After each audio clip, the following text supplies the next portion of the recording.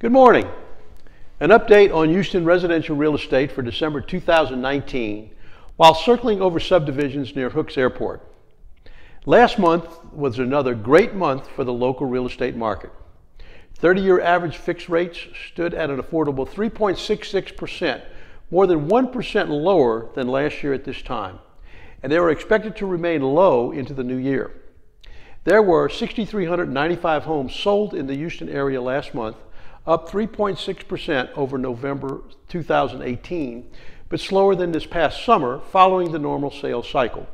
However, year to date residential home sales are up 4% over last year's record numbers. The November median price rose 2.5%, setting a new record at $241,000 for that period. Incidentally, the nationwide median price is $271,000, indicating home costs are better here than the nation as a whole.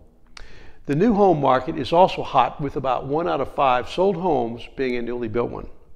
Single family homes inventory is at a 3.8 month supply about the same as last year, indicating a sufficient supply of homes for purchase.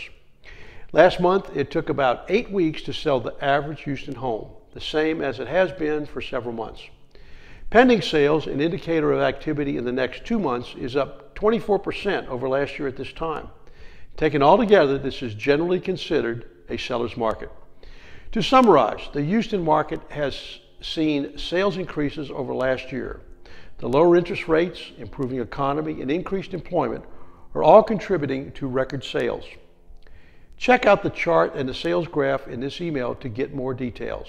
Call me at 281-734-6280 or email me at jrubli at kw.com if I can be of assistance. Thanks and have a great day.